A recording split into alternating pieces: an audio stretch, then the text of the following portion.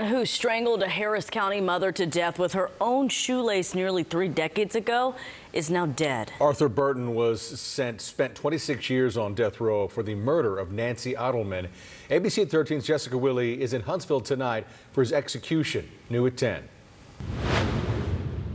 As Nancy Adleman's family looked on into the death chamber here at the Huntsville unit, Arthur Burton was put to death. There was little fanfare, few protesters, and no problems, according to TDCJ.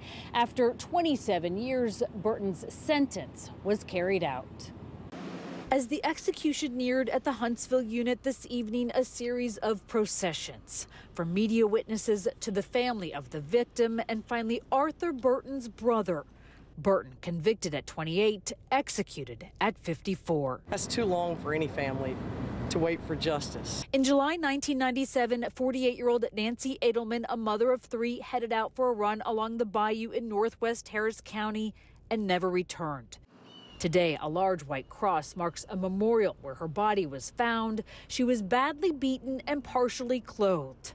Ten days later, Burton was under arrest. In a confession he later recanted, he said he tried to rape her and strangled her with her own shoelace, but not before she forgave him, and that, her husband said, sounded like his wife. She would do that. She had a very strong faith. Today, Mark Adleman with his son and Nancy's brother came to Huntsville to see the sentence for themselves. At the end, they did embrace. Hours earlier, the Supreme Court declined to intervene about recent claims by Burton's lawyers that he was intellectually disabled.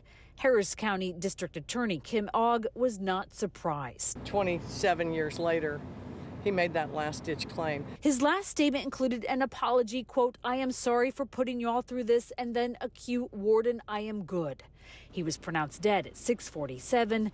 Adleman's family declined to comment. In this case, there's no question. Arthur Burton deserved what he got.